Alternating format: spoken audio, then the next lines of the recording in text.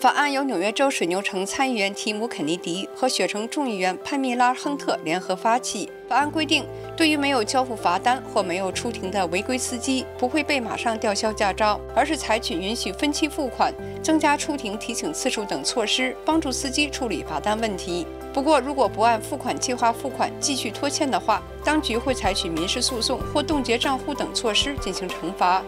对于那些所扣交通点数过多或车祸伤人的违规司机，不在这一法案范围之内，仍然按法律吊销驾照。